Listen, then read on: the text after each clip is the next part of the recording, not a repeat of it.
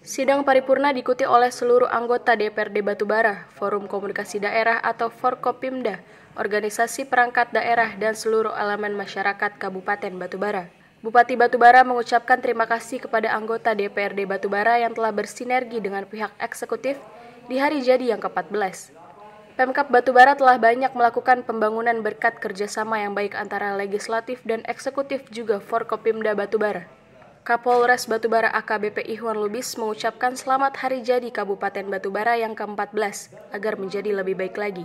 Pembangunan infrastruktur meningkatkan sumber daya manusia, TNI sampai dengan Polri siap bersinergi terutama menciptakan suasana aman.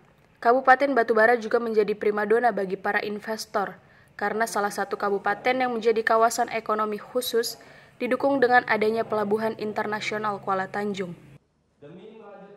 Pada peringatan hari jadi Kabupaten Batubara ini, saya ingin mengucapkan terima kasih dan apresiasi kepada unsur pimpinan dan anggota DPRD Kabupaten Batubara, juga kepada Forum Komunikasi Pimpinan Daerah Kabupaten Batubara, Kepala OPD, para camat, para kepala desa, para lurah, serta kepada seluruh elemen masyarakat Kabupaten Batubara atas dukungan yang telah diberikan kepada pemerintah Kabupaten Batubara sehingga penyelenggaraan pembangunan dapat berjalan dengan baik dengan kondisi daerah yang aman dan kondusif.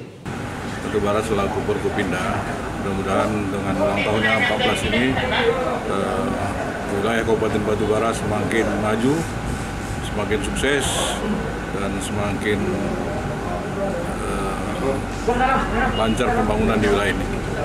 Apalagi Kabupaten Batubara sebagai daerah industri nasional, kawasan industri nasional.